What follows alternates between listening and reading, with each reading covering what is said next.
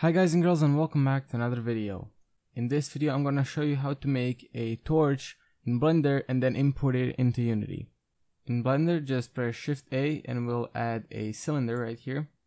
Then you can change this value to add or decrease detail. I'm gonna decrease and uh, I'm just gonna use a very low poly model here because I like that style. And now you can just uh, I just move this up here and then uh, we can start modeling this. So select this top part and now I'll just move it up. And this is the length of the torch. And I'm going for those kind of bamboo torches that you see like stuck in the ground. You could go for a different one but this is the one I'm gonna make. If I take everything and scale it and then do this to make it longer. Now scale it. I think this is pretty good. This is our torch. As you can see it's very simple but that's it. You don't really have to have a high highly detailed torch.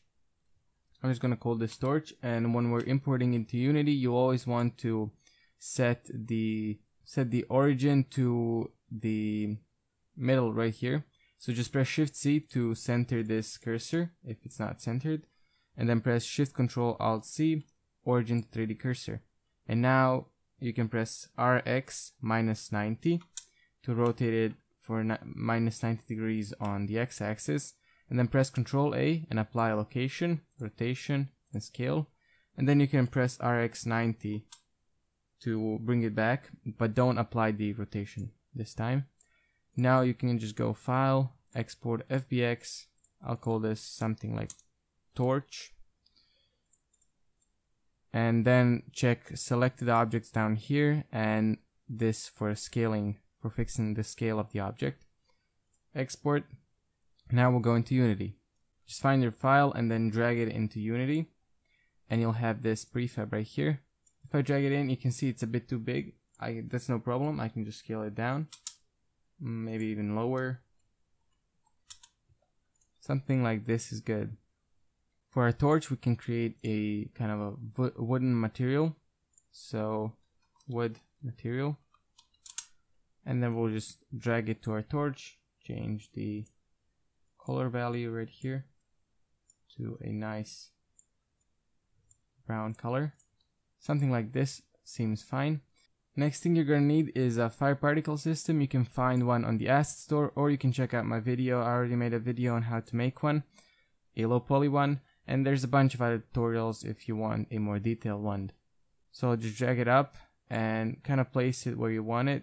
Right now, the torch is just kind of emit emitting these particles.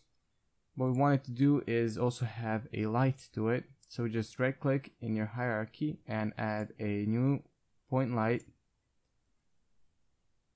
and point lights just emit light in this kind of area. And I'll place it in the same area where I want the light to come from. And now I just want to change the color of the light to a orangey or red color. And you can see that it's kind of emitting some light to the boxes around here. You can change the intensity to emit more or emit less.